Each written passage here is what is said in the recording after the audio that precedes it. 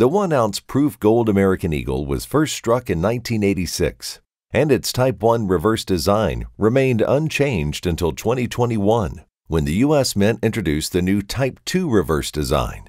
Proof coin mintages are significantly lower than their bullion counterparts, and each coin is produced with a frosted, sculpted foreground and mirror like background thanks to a special striking process. Each coin is stored in its original U.S. Mint packaging and includes a certificate of authenticity.